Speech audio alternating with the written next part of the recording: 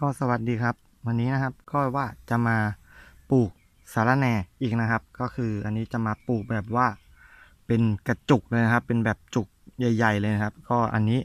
ครั้งก่อนที่ว่าได้ปลูกไปนะครับ คือจิ้มเราจิ้มกันแบบเป็นต้นเดียวนะครับ คือ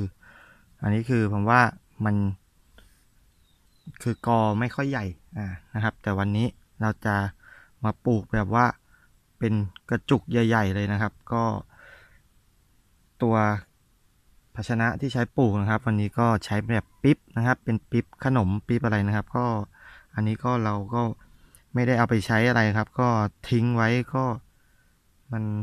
ยังไงครับ ก็เอามานี่ครับเอามาทำให้เกิดประโยชน์เลยครับ ก็เอามาปลูกผักปลูกอะไรได้นะครับ ก็ใช้ได้เหมือนกันนะครับ อันนี้ก็ส่วนในนี้ก็เป็นสาระแหน่นะครับสาระแหน่อันนี้ก็คือผมตัดมาแล้ว นะครับ เดี๋ยวเราจะมาจิ้มลงในปิ๊บตัวนี้กันนะครับนี่เลยเราปลูกในปิ๊บส่วนในของส่วนของดินนะครับ ก็เหมือนเดิมนะครับ ก็ข้างล่างนะครับ ผมจะใช้เป็นแบบมะพร้าวนะครับ เป็นพวกกากมะพร้าวนะครับโรยไว้ข้างล่างนะครับ แล้วก็เอาดินธรรมดาใส่ไว้ก่อนนะครับ แล้วส่วนดินธรรมดาใส่ไว้นะครับ แล้วก็ชั้นบน ผมจะใช้เป็นแบบดินขุยมะพร้าวเหมือนเดิมนะครับ เพื่อความชุ่มชื้นนะครับ แล้วก็อันนี้ก็ไม่ได้มีอะไรเป็นพิเศษนะครับ ก็เป็นแบบธรรมดาเลยนะครับนี่ครับ อันนี้ก็ที่ว่าปลูกไว้นะครับท่านผู้ชมนี่ค่อนข้างที่ว่าจะเขียว นี่อันนี้ก็คือโตแล้วนะครับ นี่ดูยอดจากทีแรกว่าเตี้ยๆนะครับ คือเตี้ยเท่ากันหมดอันนี้ อันนี้ก็คือนี่ครับสูงนะครับ มีสูงบ้างแล้วนะครับ นี่เลย แตก ค่อนข้างที่ว่าจะเขียวโอเคเลยนะครับ ก็เราสามารถปลูกไว้กินได้นะครับ ก็โดยการแค่นำยอดนะครับ เด็ดตรงยอดแล้วก็มาจิ้มแค่นี้ก็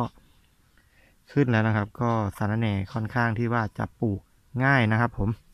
มาเดี๋ยวเรามาดูกันเลยนะครับ ก็สารแหน่ที่เราไปตัดมานะครับ ก็จะเป็นตัวยอดนะครับ แล้วเราก็แค่เล็มนะครับเล็มดึงดึงตรงใบ ตรงนี้ออกแค่นั้นเองแล้วเพื่อเราเอาไว้จิ้มดินนะครับ เดี๋ยวเรามาดูเราจะปลูกแบบว่า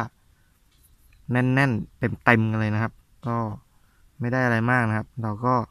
ใส่ไปนี่เลย จากคราวที่แล้วนะครับ คือปลูกแค่ จิ้มแค่ทีละต้นใช่ไหมครับ มารอบนี้ เดี๋ยวเราจะใส่กันแบบแน่นๆไปเลย สักสาม ไปเลยนะครับ นี่เลยจิ้มไว้เลยสามอย่างนี้เลยนะครับ แบบว่าแตกกันแบบ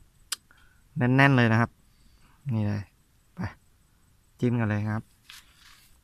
ก็เราจะใช้ไม้หรือใช้อะไรก็ได้นะครับนำนำล่องไปก่อนนะครับ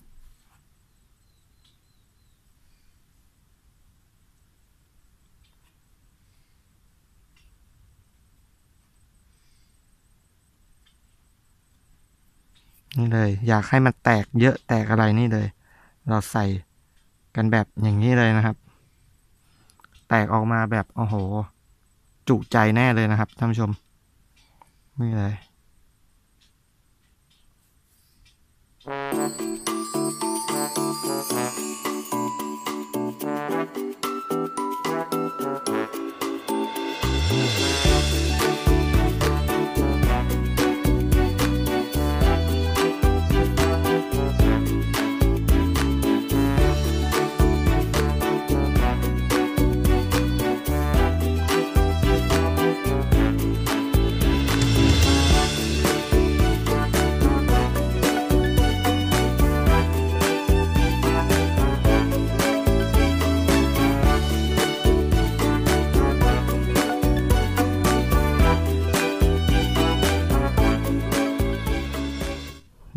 ก็เสร็จแล้วนะครับท่านผู้ชมก็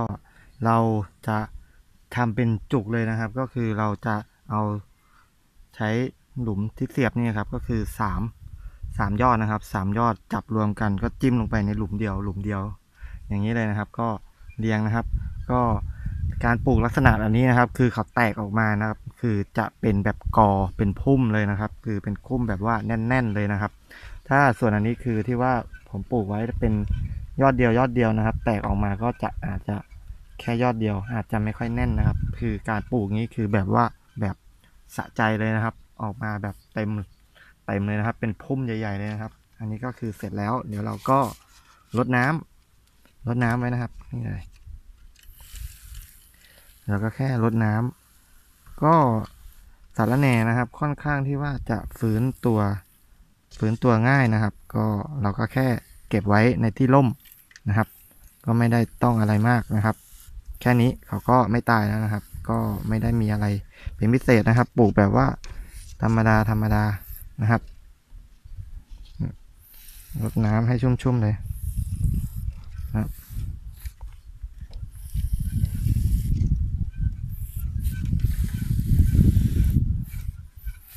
นี่เลยรดอันนู้นด้วยนะครับ แค่นี้ เราก็จะได้สาระแหน่ปลูกเป็นกระจุกแบบสะใจเลยนะครับ คือแตกออกมาแบบเต็มนะครับ กอใหญ่ๆเลยนะครับ ก็สำหรับคลิปนี้ก็จะมีประมาณนี้นะครับท่านผู้ชมก็เป็นการมาปลูกสาระแหน่ในปิ๊บนะครับ ในปิ๊บขนมที่เราไม่ได้ใช้แล้วก็เราสามารถเอามา modify เป็นโหนี่ครับเอามาตัดอะไรนี่ครับ แล้วก็ ตัดแค่ข้างบนนะครับ คือตรงในส่วนของหน้าที่ว่ามีเป็นพลาสติกครึ่งหนึ่งนะครับ เนี่ยเราก็มาตัดหน้านี้ ส่วนด้านล่างเราก็เจาะรูไว้ให้เขาระบายน้ำแค่นั้นนะครับ แค่นี้เราก็ได้ผักนี่ครับในปิ๊บขนมนะครับ ที่แบบสวยโอเคนะครับ นี่แค่นี้แล้วเราก็เก็บไว้ที่ร่มนะครับ ก็สำหรับคลิปนี้ก็มีประมาณนี้นะครับท่านผู้ชมก็ไว้พบกันใหม่คลิปหน้านะครับ สวัสดีครับ